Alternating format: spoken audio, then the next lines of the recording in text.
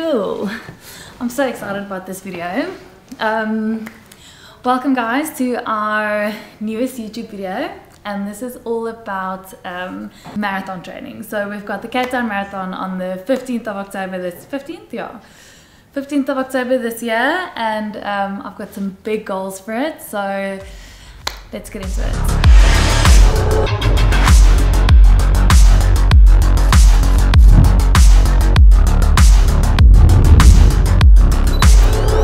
So today's video is a little bit of an update of where I am currently in my training, um, what I've been doing in the past couple of weeks. It's also a bit of a breakdown of how I am approaching my marathon training. And then I'm also answering a couple of the questions that I've received quite often over the past couple of weeks. So this will be the first video of three that we were making about the Cape Town Marathon and I hate the word journey but my journey towards it and so prepping and then as well as running for it. If you would like to see more like day-to-day updates or daily updates I do quite a bit on my Instagram so yeah you can just yeah follow along with with what I'm doing on there. So a bit of a marathon update. Um, so like I said I've got the race on the 15th of October, so that's literally in seven weeks. Um, the only race I'm going to do prior to that will be the gun run in the next three weeks. So that'll be like mid-September and my reasoning behind that is basically having that as a gauge of where I am fitness and speed wise and I'll basically use it as like a speedy long run so like a quality long run session so um, yeah I love the gun runs I'm very excited to run that um, I'm basically halfway in my training at the moment. I'm doing like a 14 week lead up to the marathon. So it's not like I started with zero fitness. I've been coming out of, you know, three or four years that I've been consistently running and had the two oceans at the beginning of this year. So I do have a very strong base, but I did take a bit of time with lower, like a lower running frequency um, throughout, say, May, June, July. Um, yeah, so in the past seven weeks, we've been building on our base fitness or building on my base fitness, um, and that makes that basically means I wanted to get stronger. So I have been still been incorporating strength training. I've been making sure that I spend time on my feet and then also to ensure that I can maintain a low heart rate over a long distance. Um, so that's basically where I am at the moment.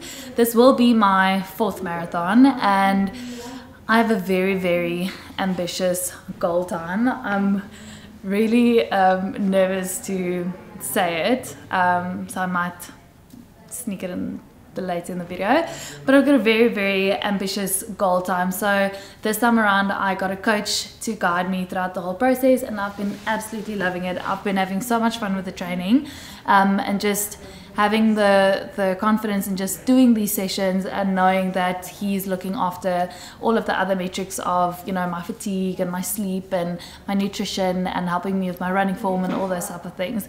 So that's been a real big game changer for me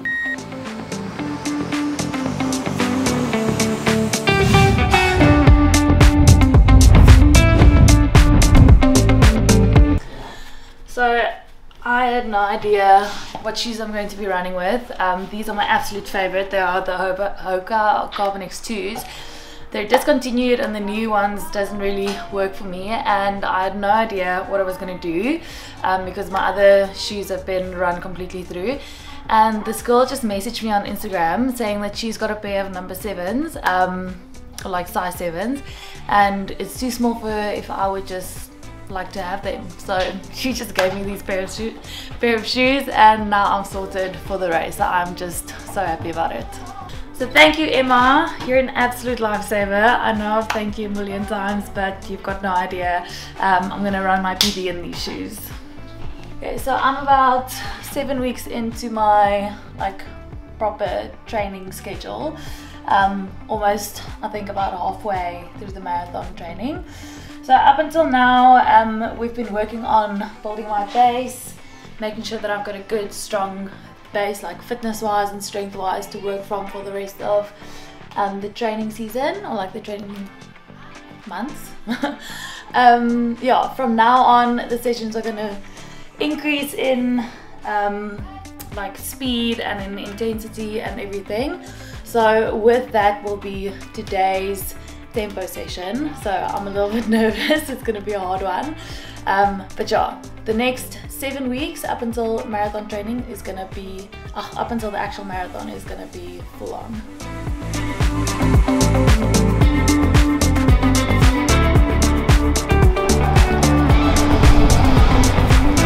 Okay, so today's session is a 5k time trial, but the total distance will be like a 10k run. So starting off with a 3k warm up. So in this time I want to keep my heart rate really low, make sure that my body warms up before I get into like the faster tempo um, pace. Then the 5k is in the middle. It's yeah, like I said, a time trial, so it's gonna be at a really fast pace. This will be like zone four, five type of run. So this is like pushing your heart rate up to like the high 160s, 170s, but it should be a pace that I can maintain for the whole five kilometers. I don't want to go out in a big old sprint and then fade for the last two kilometers of the 5k. So this will just give us a good indication of where my fitness is at the moment and also um, as a workout, it makes sure that I increase my VO2 max and my lactate threshold, which means that my muscles can maintain this high speed for a long time. And then from there on, it's a 2k cool down, so 10k's in total, um, but it's a big session, like I'm a little bit nervous.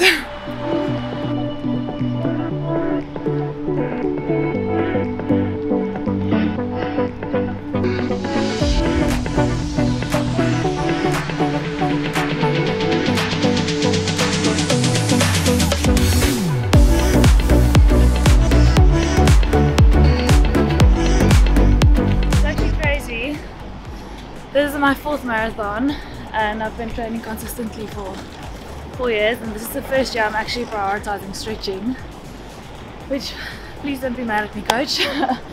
But um, yeah I've never really realized the importance of warming up your body and making sure that you um, get your muscles activated before you actually start running. And for the first time I'm not injured like prior to the marathon. So yeah um, I'm gonna head out for the run now it's a chilly morning, um, but luckily not as cold as my Tuesday run. Tuesday I ran in the like heavy wind, rain, coldest weather I can think of. But it's so, so, so important to still run and still go out for your run, even if the weather's not that great, um, because you don't know what race day weather is going to be like. You know, if you wake up race morning and it's freezing cold and raining, you need to know that you've prepared for this and that you know exactly how you are going to, you know, um, perform in those kind of conditions. So I know sometimes you need to go on the treadmill when it's dark and it's too cold and it's, you know, really bad outside, but um, if you can, do your runs outside, you won't be sorry about it. I know you're going to ask me about this set. Um, with my training, I always make sure that I test out our samples to make sure that they are the absolute best. So this is a new short, new short style. Absolutely love it. And then this is like one of our um, new bras that we will most likely keep in stock all the time. It's our, you know, Milan bra that everyone absolutely loves, but in like more sleek, monotone look. So um, I'm ready to go. I'll see you guys later.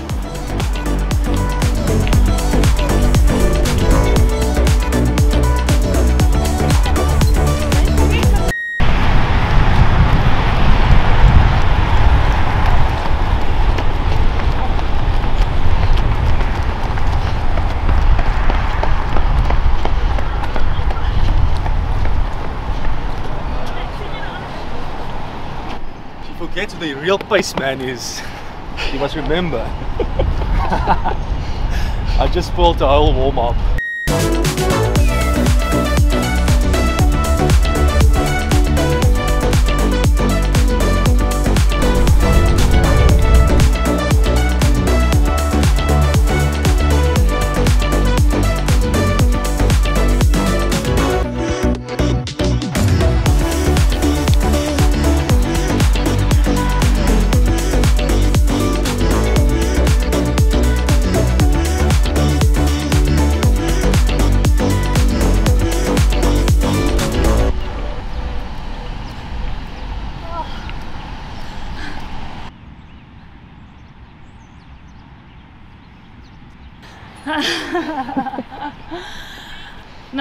It was good. I'm happy with the paces that I hit, but I'm not gonna say that's easy. Um, it's definitely the longest that I've held like a very fast pace in this training block. It's definitely not my PB in a 5k, but I think I did well. I'll check my splits and I'll post it on here um, if you guys are interested. But all in all, just like over 10 k's, and um, yeah, now I'm just gonna catch my breath first. So, for this is my fourth marathon, and for the first three and all the other races I've ever done, I've basically like trained myself, read a lot about different training programs and different ways of training and everything. Um, but yeah, I basically trained myself, and I think I didn't do like a bad job. But um, for this race, I have a very ambitious goal. Um, so I decided to get myself a coach um, because I also think the fact that I was doing marathons and running them quite fast, training myself, there wasn't someone who was able to have a look at my stats and my fatigue and my performance and all those things as well. Um, and that's probably the reason why I got injured um, before my two previous marathons. Um, so I did this podcast with um, Making a Runner, and I met Nick, who is a coach and a biokineticist, and then I contacted him to be my coach for this marathon, and it's been the most incredible thing I've ever done. Um, there's so much that goes into running that I didn't even know about, and I think the progress that I've made over the past couple of weeks have been exponentially better than what it would have been if I would have trained myself. Um, and with that, he also makes sure that I rest and he helps me with my running form and you know my nutrition and everything like that. So I'm really excited to see what happens um, in this marathon with me having a coach. So, with mentioning that, that I got a coach now, it's if you're at a space where you are running your first or second marathon or you're just getting into running, don't worry about getting a coach like from the start. There's so much value in building a base and getting to know your body um, by yourself. So if you guys want, let me know if you would like some more guidance on setting up like a basic running program for yourself, um, whether it be for a 10k half marathon or a full marathon. Um, there's a lot of knowledge that I built up over the past couple of years that I can really and I love sharing it. I'm just so excited about running. So, um, if you guys need a little bit of guidance, let me know, and I can maybe put something together um, for like a getting you into running or getting you into racing.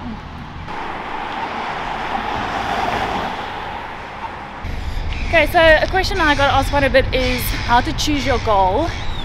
I'm guessing if it's like your first marathon, you're not exactly sure where to like put your finishing time, your pace, or anything.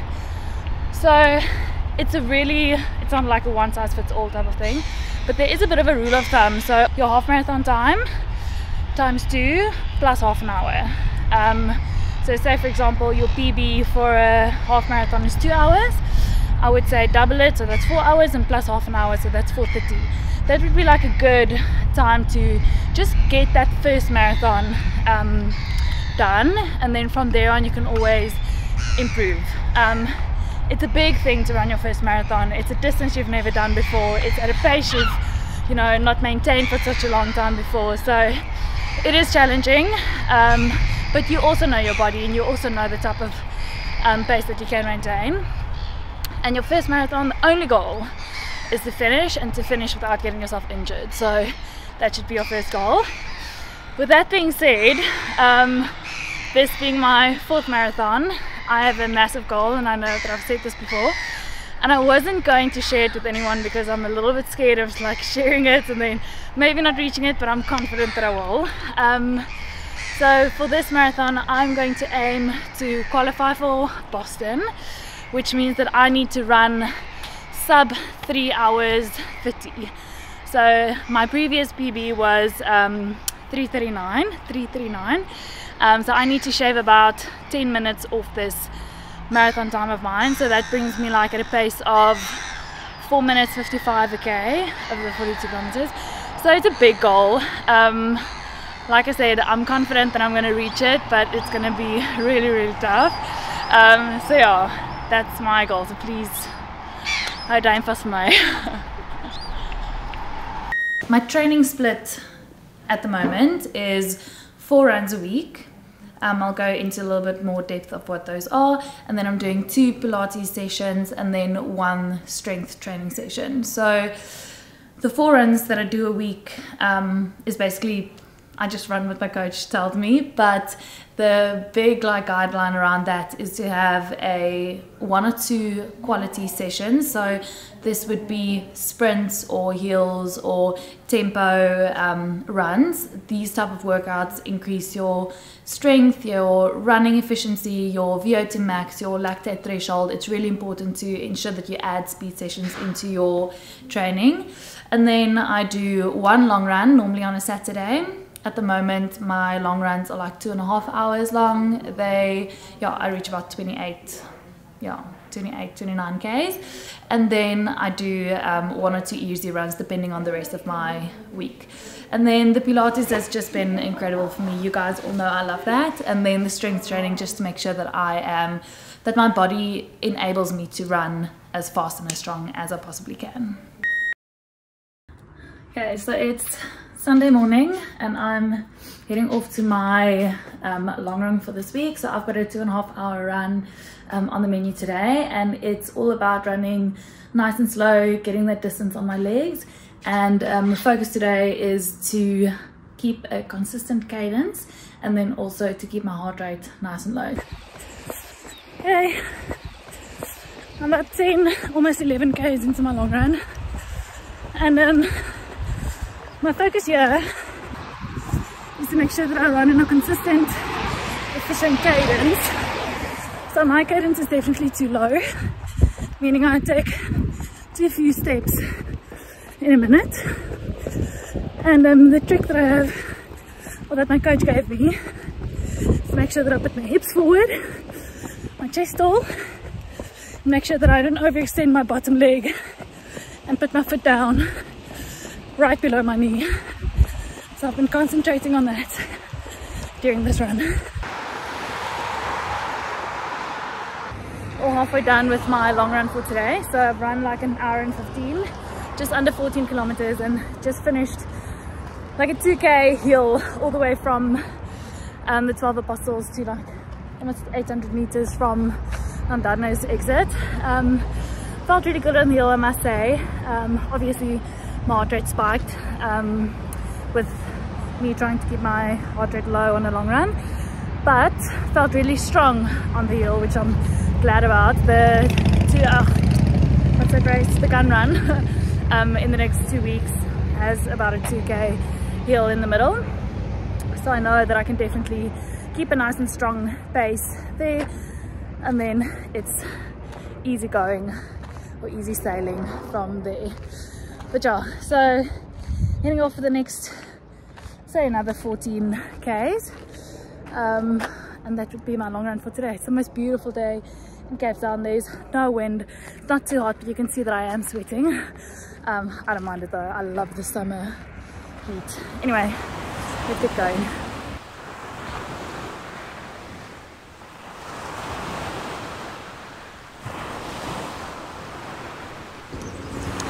taking my last gel. I'm about 45 minutes to the end of my run. So this guy will sustain me for the last little bit. Mm. This one is the Mojito flavored, the Power Bar Hydro Gel. Definitely one of my favorites.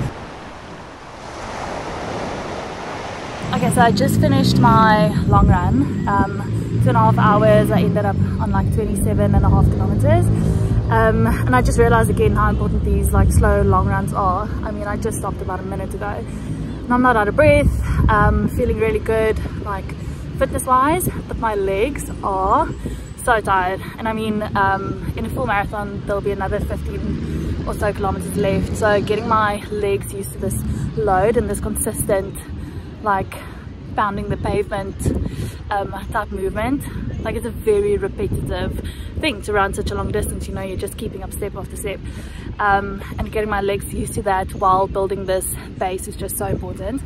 Um, I think where the penny completely dropped for me with um, making sure that I do these slower runs. Like previously I just ran as far as I could, as fast as I could every single time. Um, but I read this quote saying, um, you have to build your engine before you can press on the gas. So that just made so much sense for me like I need to have this engine um, built over a long time you know before I actually do my marathon where I'm gonna run this distance at a fast pace. So anyway oh look at my glasses. Anyway um gonna have a bit of a stretch definitely gonna have a lot to eat. I'm super hungry. And um yeah and then it's the most beautiful sunny day in Cape Town I get quite a lot of questions about how you approach training, especially, you know, if you're not being coached or someone doesn't help you choose your paces. Um, so basically what we use is heart rate training and this is something that's used globally by so many different runners um, and it is something that is the base of my sessions. If you don't want to go into too deep of a calculation, how you can make sure that you're running in a certain zone by literally just using this little trick. So imagine you're running with a running buddy. Um, so your zone one will be if you two are running, you can maintain a completely normal conversation, like nothing's changed, just very easy, like a normal pace. Then zone two means you can run, uh, speak full paragraphs to your friend. Zone three is you're running at a speed which you can answer full sentences, but you need to take a bit of a break between each sentence. Zone four is a speed where you can manage single words. You're running of fast, um, you're quite tired, but single words you'll be able to get out. And then zone five is you're running so fast that you literally cannot speak at all. So basically, zone one and two is where you want to stay for your long runs. Zone 4 is where you want to be for your tempo run, so a high pace uh, for a longer distance, like um, 5 to 8k distance. And then zone 5 is where you will be while you are doing your sprints. The wind is a little bad, so I hope you can hear me. It's a week after the long run that I posted. Um, I'm on a one uh, I'm on a one hour easy run and um, to be completely honest I actually thought that I was running nice and slow my long runs and my previous easy runs but I had a chat with my coach and I'm still running a little bit too fast on my easy runs.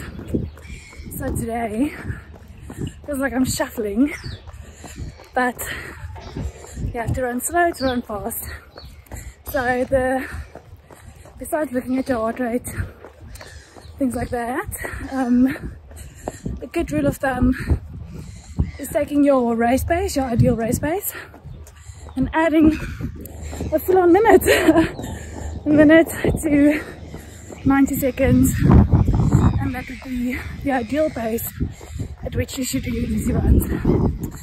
So yeah, my second easy run for the week taking it slow. um, feels a little weird because I am a little competitive and I am very aware of what's posted on Strava. so I need to put my ego aside and literally just take it easy. Anyway, beautiful morning. A little bit cold, a little bit windy. It's always a good morning in Cape Town.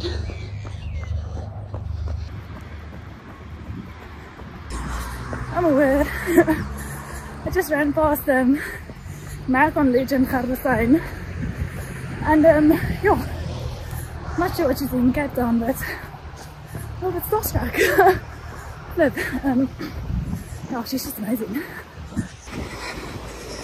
550, 550 a kilometer. And um, to be honest, I didn't have a coach get me in line, I probably would have gone for like a five minutes a k pace for 10k. Um, yeah, it's just so much to learn. Okay, look at those heart rates. Very nice and low, very nice and easy. Happy with that. Question that, that I get asked a lot is how to balance strength training, running, and then also rest and recovery.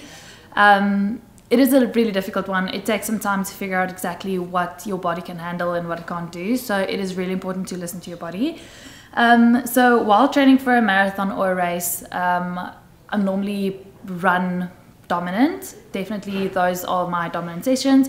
Um, otherwise, if I'm not training for a specific race, it's very 50 50. With my current running schedule, my running is taking priority. And so I've explained the different sessions that I do there, but with the strength training, the intention with that is to make sure that I can run stronger. Um, the second thing is so that I avoid injuries. The stronger your muscles are, the more they are going to support your body and your goals in a time that I'm training for a marathon, I won't gym as heavy, like with as heavy weights as what I do if I'm not training for a specific race. The goal with that is I don't want to be so sore and so fatigued from a gym training session that my quality session is not you know what I want it to be. So I would rather gym a little lighter, still getting that extra strength training in, but not in such a way that I don't hit my certain paces and my distance that I need to do in my quality sessions. Um, and then I normally have one recovery day a week. Um, it's normally on a Monday because my weekends are quite run heavy. So on a recovery day, I'll go for a walk. Um, I'll even do a Pilates session, but it is a time that I need to make sure that my body is getting rest in. Um, yeah, so those are basically you need to balance this in your life and i know that it's it's a difficult thing to to say listen to your body because sometimes you don't know should i push through this little bit of laziness that I have, or am I actually so tired that I'll be doing more damage or more harm than good by, you know, running a session? So, what I normally do when I'm not exactly sure whether I'm tired or lazy is I put on my running shoes and I just go out for a easy run.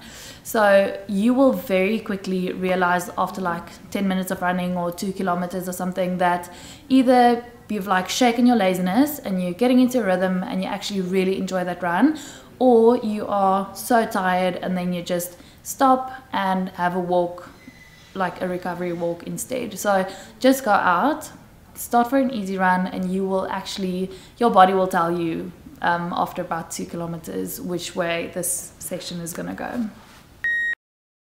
Onto nutrition. I will definitely go more into like race specific nutrition closer to race day so that will most likely be in my next video because I know this is such a, a, difficult thing to figure out so I'll definitely give you my tips and tricks.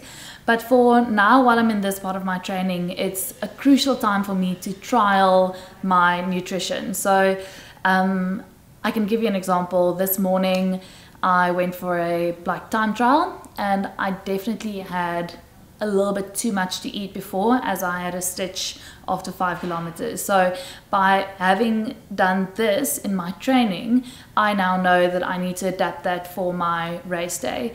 Like I said, I'm actually training, like trialing my nutrition at the moment um, for speed workouts, but especially on my long runs. And this includes hydration, uh, pre like workout, the breakfast that I will have before, what I will have during, and then what I will have after for a recovery. So this is really important for me to figure out exactly the balance of having enough energy on a run, but not being too full that I get either lethargic or stick or little, ugh, a stitch or nauseous or a upset tummy or anything like that. Like you don't want to experience that on race day. So you need to be so confident in your nutrition because you have trialed it all the way in your long runs. The other thing while in marathon training, um, in terms of nutrition, is I am currently eating so much more than usual. Um, you burn a lot of energy when running, especially when you're running long distances and like really intense sessions. So at the moment, I'm definitely eating quite a bit. I am prioritizing carbohydrates to make sure that I am energized for my runs. I'm eating enough fats um, for my hormonal health. This is something that I've been lacking previously and that I've realized now is super, super, super important. And then to make sure that I get enough protein in with my muscles working so hard that I need to feel them to be able to recover and become a lot, a lot stronger. So this is just something that's really important in your building up to your marathon is not only what should you be eating pre like the week before your marathon or like the day of your marathon or anything but fueling your training is super super super important. And it's gonna feel weird to eat so much. I mean i'm hungry as i'm sitting here and it's like an hour before lunch but it's it's just really important. You cannot run your proper sessions if you're not fueled so that's it for my first marathon training video. I hope you guys enjoy that. I absolutely geek out when it comes to running. Um, so I'll see you guys in the next one. We've got a lot of training to do before then and I'll just give you a brief update of where I am and a little bit more tips and tricks that you guys can apply to your own training. Um, but yeah, love to share this with you. So if you've got any questions, ask them in the comments can never say this. Ask them in the comment section below and I'll definitely get back to you. But otherwise, look out for our next video um, for some more running tips and tricks and updates.